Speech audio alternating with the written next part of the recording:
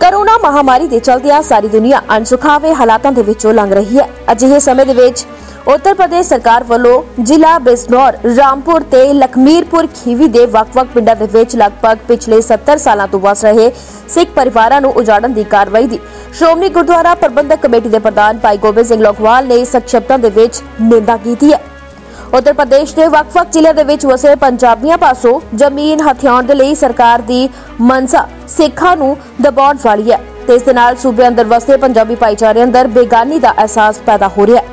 ਉਹਨਾਂ ਨੇ ਗ੍ਰਹਿ ਮੰਤਰੀ ਅਮਿਤ ਸ਼ਾਹ ਤੇ ਉੱਤਰ ਪ੍ਰਦੇਸ਼ ਦੇ ਮੁੱਖ ਮੰਤਰੀ ਯੋਗੀ ਆਦਿੱਤਿਆਨਾਥ ਨੂੰ ਅਪੀਲ ਕਰਦਿਆਂ ਕਿਹਾ ਹੈ ਕਿ ਘੱਟ ਗਿਣਤੀ ਸਿੱਖਾਂ ਦੇ ਨਾਲ ਕੀਤਾ ਜਾ ਰਿਹਾ ਧੱਕਾ ਤੁਰੰਤ ਰੋਕਿਆ ਜਾਵੇ ਤਾਂ ਜੋ ਸਿੱਖ ਪਰਿਵਾਰ ਆਪਣੇ ਆਪ ਨੂੰ ਸੁਰੱਖਿਅਤ ਮਹਿਸੂਸ ਕਰ ਸਕਣ। ਮਾਮਲੇ ਦੀ ਗੰਭੀਰਤਾ ਨੂੰ ਵੇਖਦੇ ਹੋਏ ਮੁਕੰਮਲ ਪੜਤਾਲ ਦੇ ਲਈ ਸ਼੍ਰੋਮਣੀ ਕਮੇਟੀ ਦੇ ਜੂਨੀਅਰ ਮੀਤ ਪ੍ਰਧਾਨ ਭਾਈ ਗੁਰਬਖਸ਼ ਸਿੰਘ ਖਾਲਸਾ ਅੰਤਰਿੰਗ ਕਮੇਟੀ ਮੈਂਬਰ ਭੁਪਿੰਦਰ ਸਿੰਘ ਅਸੰਗ ਤੇ ਸ਼੍ਰੋਮਣੀ ਕਮੇਟੀ ਮੈਂਬਰ ਗੁਰਚਰਨ ਸਿੰਘ ਗਰੇਵਾਲ ਦੇ ਅਧਾਰਿਤ ਤਿੰਨ ਮੈਂਬਰੀ ਸਬ ਕਮੇਟੀ ਗਠਿਤ ਕੀਤੀ ਗਈ ਹੈ।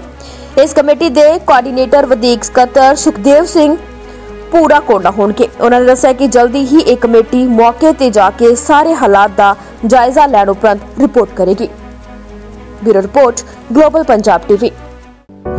ਦੇਖ ਸਕਦੇ ਹੋ।